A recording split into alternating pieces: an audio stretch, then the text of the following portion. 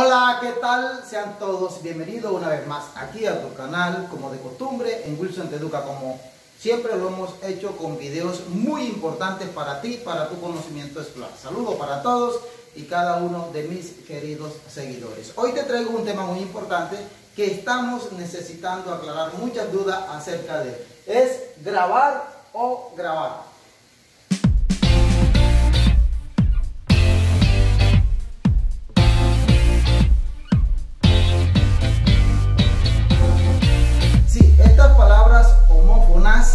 Que cada una de ellas tiene un significado, cada una de ellas tiene una intención de acuerdo al hablante, de acuerdo a la situación, pero hay que tener en cuenta que son verbos.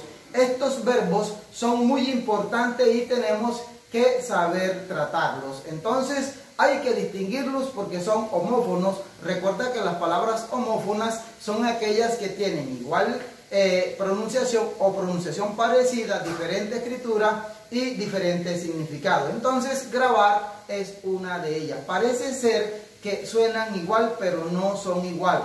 Una es con V y la otra es con B fuerte. Vamos entonces a ver cada una de ellas. La definición de grabar. Como te dije, del verbo grabar, pero este grabar tienes que tener en cuenta que es cuando tú vas a marcar, cuando vas a hacer algo eh, en una tabla, en una piel, vamos a marcar las ovejas, vamos a marcar el ganado. Entonces eso es grabarle una letra, grabarle unas eh, iniciales, en fin, eso es lo que se le llama grabar. Del verbo grabar es cuando marcamos algo sobre una superficie a base de incisiones.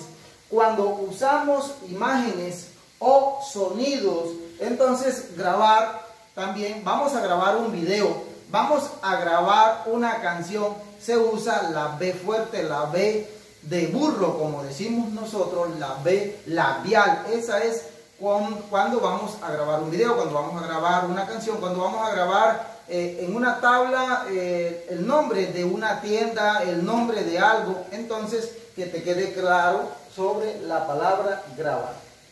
Vámonos acá para que veas el ejemplo. Por ejemplo, aquí está facilito grabar un nombre en una tabla, marcar las iniciales de una persona en una piedra, eh, también grabar un video, vamos a grabar un video, es con B larga, grabar una canción es con B larga. La otra se utiliza siempre es en lo que tiene que ver con los impuestos. Vamos entonces a ver qué nos dice. Grabar, vea, también es un verbo, del verbo grabar es un impuesto, es una carga que imponen las autoridades sobre una mercancía. Ya, eh, hay que eh, ver a qué mercancía se le va a poner el gravamen o a quienes le vamos a cobrar esto.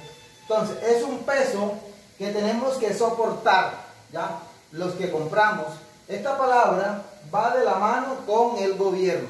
Siempre que estés trabajando en, un, en una alcaldía, en una gobernación, en cualquier parte que tenga que ver con el gobierno, apenas se, abre, se hable de que se le va a grabar el impuesto, va a ser con V. Entonces vamos a ver un ejemplo acá. Dice, un impuesto grabará la basura que vierten los ayuntamientos. Ya, es con esta, es con V.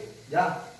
Se deberá grabar impuestos siempre y cuando la compra exceda el monto que estipula la ley. Esos son ejemplos palpables para que puedas entender y comprender cuándo debo utilizar la palabra grabar o bien sea grabar.